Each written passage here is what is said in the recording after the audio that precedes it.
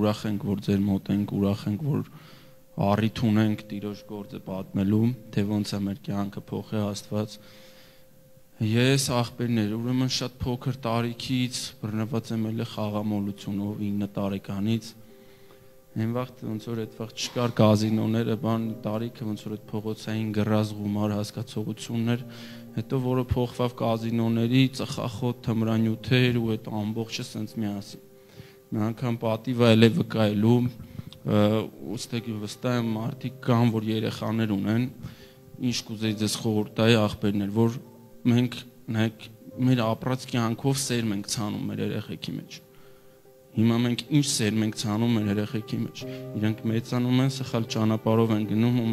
մենք շատ հաճախ չգիտենք Աստծո վրա ենք հա գցում որ Աստված կա այս երեխես խի ասենց բայց չենք նայում որ մեր ճանապարհով մեր մենք մեր քայլերով այդ սերմերը ցանինք մեր երեխեքի մեջ ու իրանք եկան դառան այդ ճանապարհին ու բռնված եմ ելը նարկոտիկներից խաղամոլություն այդ ամբողջ իրար է 10 տարուց ավելի 10 Դե խաղամոլուց ես 31 տարեկան եմ, 20 տարի մոտ խաղամոլությունով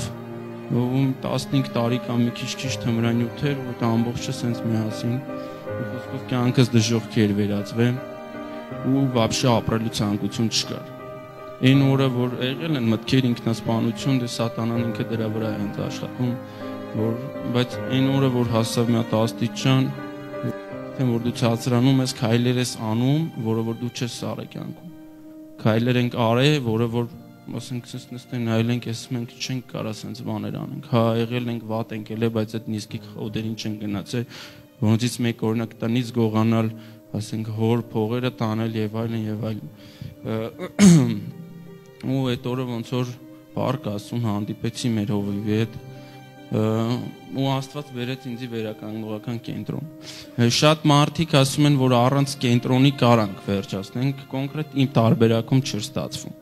չգիտեմ, եթե մեր մեջ ստե մարդ կա, օրինակ կամ չգիտեմ ձեր ընկերների մեջ դուսը խանգարում է։ Կենտրոնը ինչով է լավ ախպերներ, որ այնտեղ կա աղոտ, կա աստծո խոսք, չկա ծխախոտ, չկա սուրճ նույնիսկ, որը որ կարա հիշացնի ծխախոտ։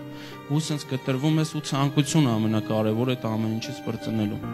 Ու գնացի կենտրոն, գնացել եմ ֆիզիկական խնդիրներով այդ լոմկա հասկացողությունը, ֆինանսական խնդիրներով, հոգեկան ծանր խնդիրներով այդ ամեն ինչից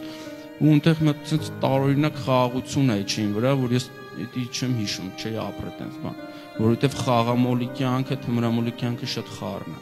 Սենց միշտ ինչ որ դու գոնկեքի մեջ ես, հա, սենց ասած,